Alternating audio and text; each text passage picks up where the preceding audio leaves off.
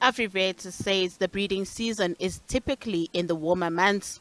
It says this is when the country experiences lots of rainfall.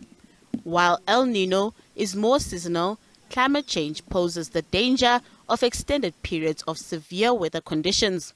Recently, parts of the country have been flooding while some remain dry. Different regions in South Africa experience climate variations that impact breeding seasons, with milder area allowing for more flexible mating times and harsher climate uh, necessitating defined uh, breeding periods for offspring survival. So delayed rain can significantly affect communal farmers as it influences pasture growth and health, uh, head, head health, leading to poor nutrition for breeding animals.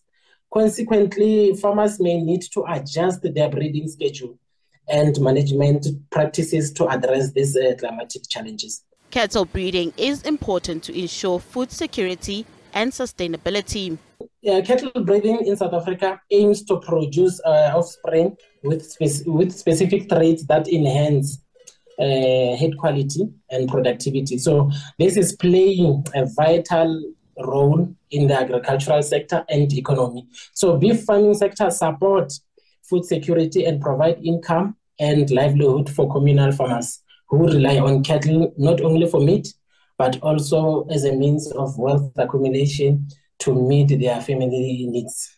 AfriVet says the season for animal breeding is expected to begin in December to February next year. Nothando Makutulela, SABC News, Johannesburg.